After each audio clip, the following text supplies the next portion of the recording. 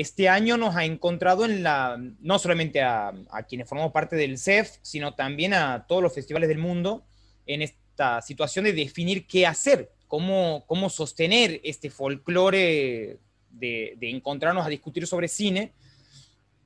en, el contexto en el que nos, está, el que nos estaba imponiendo la, pandemia mundial. Y es así, bueno, como que se han tomado, bueno, cada festival ha tomado una decisión particular. En el caso del Santiago del Estero Film Fest hemos tomado una opción más bien intermedia entre quienes decidían no hacer eh, ninguna actividad y quienes decidían hacerla eh, eh, completamente online. Hemos tomado una, una, una, iniciativa, nosotros imagínense que nosotros hemos tomado, el, hemos, hemos, nos ha agarrado la pandemia con, la, con las inscripciones cerradas. O sea, nosotros habíamos abierto las inscripciones en diciembre y cerraron en febrero, fines de febrero. Entonces nosotros ya teníamos todas las películas inscriptas, teníamos arriba de 1.300 películas inscriptas y ya teníamos el 70% visto a finales de abril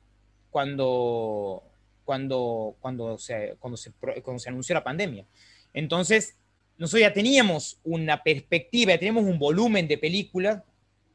que estaban en una especie de preselección, ya teníamos más o menos armada la programación de este año. Con el tema de la pandemia nos hemos sentado con mi compañera en la dirección del festival, Pichu Tomsik, y, y parte del equipo de decir, bueno, ¿qué hacemos? Y ahí hemos empezado a pensar, hemos empezado como a repensar la parte conceptual de los festivales de cine y, y se nos ocurrió hacer una actividad intermedia que tenía que ver con convocar a personas que, por un, que han participado del festival de alguna manera, ya sea con talleres, o sea con películas, o sea como sea, y brindar conversatorios durante las fechas que estaba estipulada para el festival para no perder la fecha, para decir, bueno, por lo menos algo hemos hecho y no hemos dejado pasar, hemos dejado pasar por alto la fecha del festival. Y así fue, hemos organizado una, una serie de, de conversaciones con directores, directoras, realizadores que se han predispuesto a conversar durante una hora con, con nosotros durante los cinco días del festival dos entrevistas por día, una a la siesta y otra a la noche, y mientras íbamos agitando tres películas por día que han pasado por el festival y que estaban cargadas en alguna plataforma libre y gratuita. Y así hemos podido eh, pasar esa semana y poder hacer una,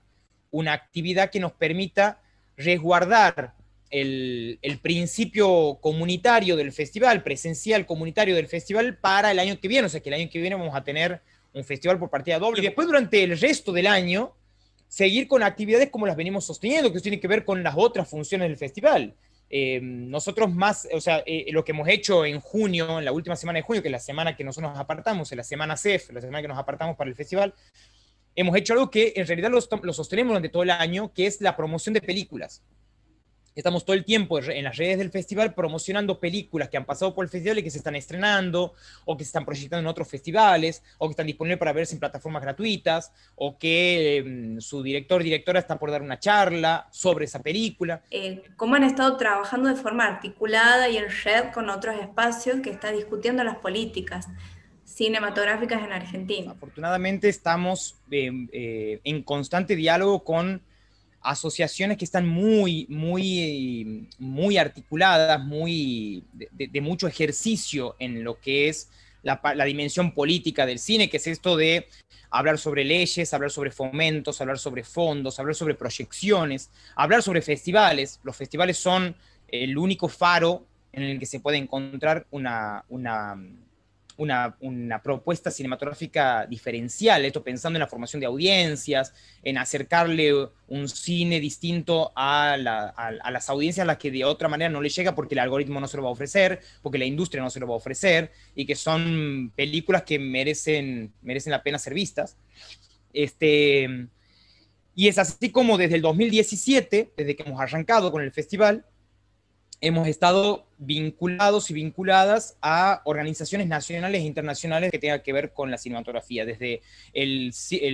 el, colectivo de cineastas de Buenos Aires, el colectivo de cineastas de Córdoba, la, red de documentalistas latinas, la red de eh, realizadores independientes, la producción de, eh, equipos de producción de varios festivales, tenemos un, diálogo muy, un diálogo cotidiano y muy fructífero con los dos grandes festivales más los, dos festivales más importantes del norte del país, que es el Festival de Cine de Tucumán y el Festival de Cine de las Alturas, que está en Jujuy, en donde hemos estado como jurados o hemos, eh, hemos em, programado películas, hemos participado de discusiones. Hace poco nos han invitado a una, a una mesa de la red de la red argentina de festivales y muestras audiovisuales, que es una red que tiene como 70 festivales, los festivales más importantes del país forman parte de esa red, y a pesar que nosotros no formamos parte de la red, nos han invitado para la mesa de diálogos en torno a lo que ha desatado el proyecto de ley de festivales. Hay un proyecto de ley en el que concretamente el INCA quiere trasladar los fondos que prevé para festivales, que son muy pocos, a eh, la órbita de cada provincia y que, que, la que cultura de cada provincia los administre. Bueno, eso para nosotros es un escándalo y, nos han invitado a formar parte de las mesas de diálogo por zona que está organizando la, la eh, RAFMA, que es esta red que está haciendo un trabajo este, brillante sobre, bueno, cómo trabajar, cómo crear un diálogo federal sobre eso. Estamos en la mesa, estamos participando de la mesa federal del proyecto Cine Independiente, que es un proyecto de cine que tiene una intención sensata desde hace un par de años de abrir el diálogo a, la federalización del cine, entonces convocan a personas que están vinculadas en el sector en distintas, en distintas provincias para poder armar un, diálogo federal. Eh, y todo eso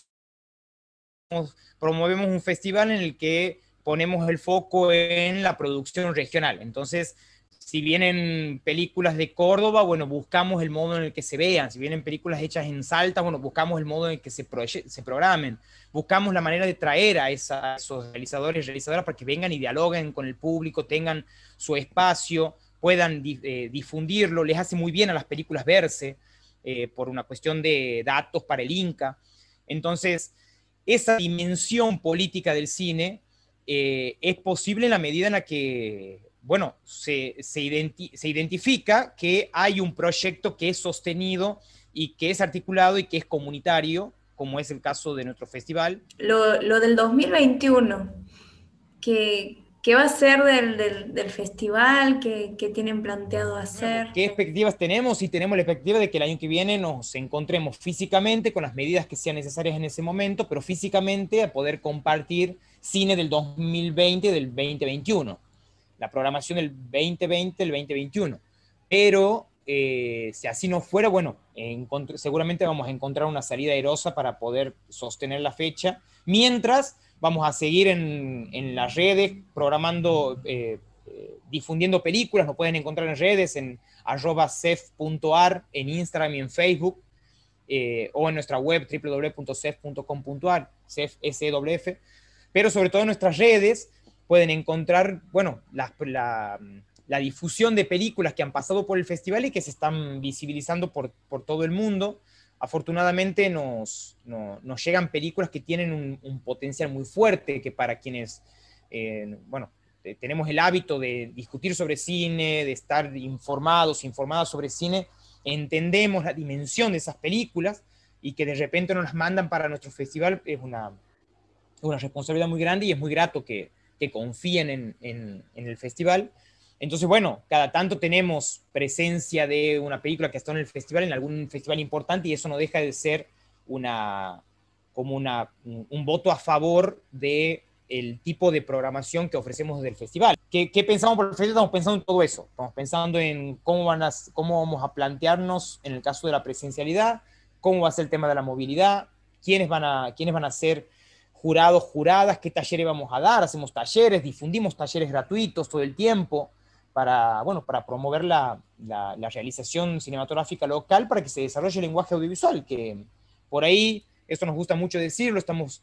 eh, acostumbrados a vernos en otras disciplinas, en la danza, en la música, en el teatro, en la pintura, tenemos una,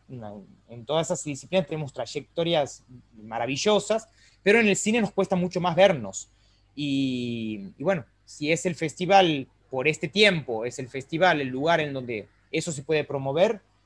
nosotros nos damos por hecho. Juan Pablo, muchísimas gracias por, por acceder a la entrevista, por este espacio. No, gracias a ustedes de nuevo y estoy atento para cuando lo necesiten.